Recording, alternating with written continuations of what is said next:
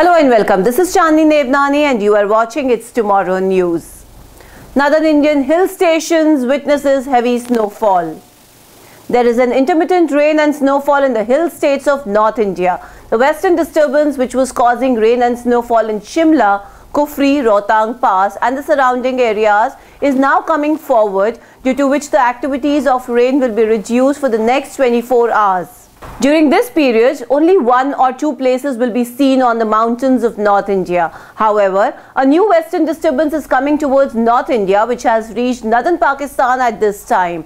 It will start affecting the northern states from tonight. According to weather experts, from tonight or tomorrow morning, there will be an increase in rain and snowfall in Jammu and Kashmir, Ladakh, Himachal Pradesh and Uttarakhand.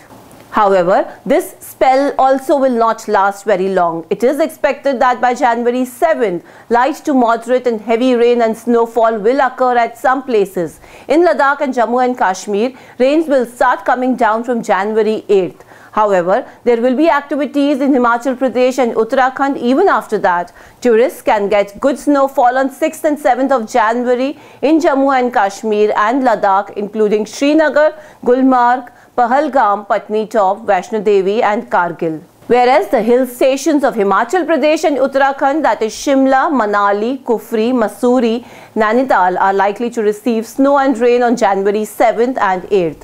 There is a possibility of landslides and avalanches in many areas due to rain and snowfall due to the effects of western disturbances one after another. This may lead to many road closures. Traffic on Jammu-Srinagar highway may also be blocked for some time. Therefore, tourists are advised to take precautions and not ignore the warnings issued by the local administration.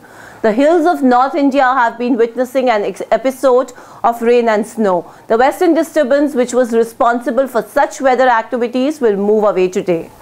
Weather will once again go almost dry. However, isolated rain and snow may continue due to the remnants of the system.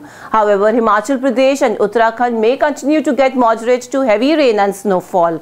Its impact will be felt in the northern plains as well in the form of rain and thundershower activities. Now the maximums of western Himalayas will drop down significantly and the possibility of mudslides, landslides, snowslides which may cause road blockages and closures.